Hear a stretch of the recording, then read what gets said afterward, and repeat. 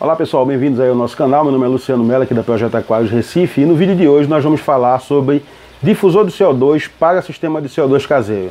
Então aguarda só um momentinho, depois da vinhetinha nós voltamos. E de antemão eu peço a vocês aí que inscrevam-se no nosso canal, deixem um like, faz um comentário, que isso ajuda muito a fortalecer o nosso trabalho, ok? Um abraço e depois da vinhetinha a gente volta.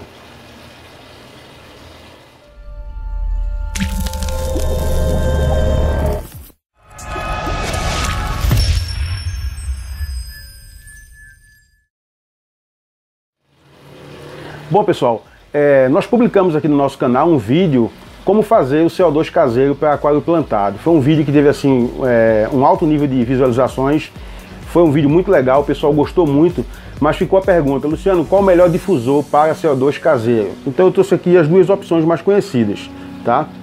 Esse difusor aqui, muita gente não consegue fazer com que saia as bolinhas nesse difusor usando o difusor, o CO2 caseiro. Por quê?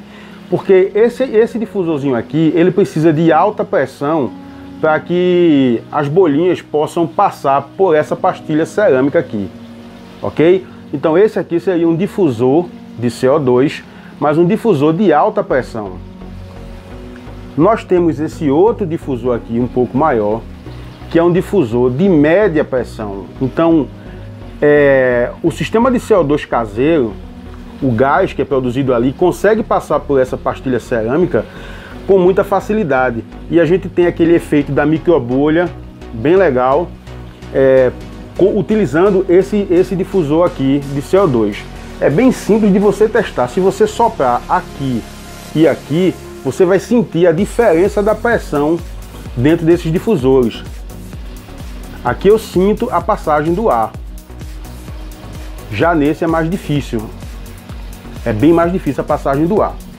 Um outro detalhe é que com o passar do tempo, nessa pastilha cerâmica começa a juntar resíduo, começa a juntar tipo um lodo, criar tipo um lodo. Então as pessoas perguntam, pô, entupiu, o que é que eu vou fazer agora já que a pastilha não sai? Bom, a pastilha não sai na maioria dos casos. Então o que você vai fazer é bem simples, a manutenção disso é bem simples.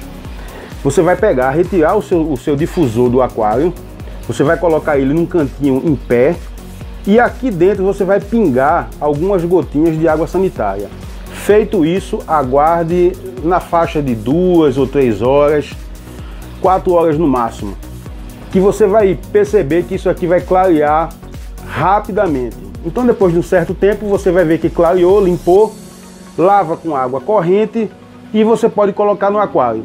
Então o que é que a gente vai fazer antes de colocar no aquário? Lavar com água corrente e pingar aqui um pouquinho de anticloro. Pinga com um pouquinho de anticloro aqui e resolvido o problema, ok? Então fez a feita a manutenção do difusor. Eu vou colocar aqui no canto da tela uma demonstração do, do difusor do meu aquário plantado, que eu fiz a manutenção e vou aproveitar e mostrar a vocês como fica legal. Ele volta realmente a, a funcionar normalmente.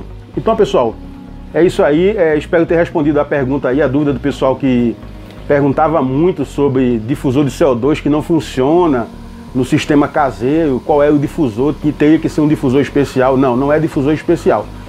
Você só tem que analisar se o difusor é um difusor de alta pressão, de média pressão ou baixa pressão. De média ou baixa, como esse aqui, por exemplo, é um difusor barato, muito fácil de achar, a gente tem aqui na loja, vende muito, é, esse aqui já é adequado para o sistema caseiro, fica muito bonito, muito legal. Ele ainda tem aqui essa serpentinazinha que a bolinha vai rodando para você poder fazer o, a contagem de bolhas, tá? Então é isso aí, espero que vocês tenham gostado, compartilhe aí o vídeo, faça inscrição aí no, no canal, ative as notificações, muita gente reclama aí que as notificações é, não tá ativa, a gente publica os novos vídeos e as pessoas não recebem aí as mensagens de novo vídeo publicado no canal. Então dá uma olhada aí se o sininho tá, tá ativo. Se não tiver, você ativa. E é isso aí. Um grande abraço e até o próximo vídeo.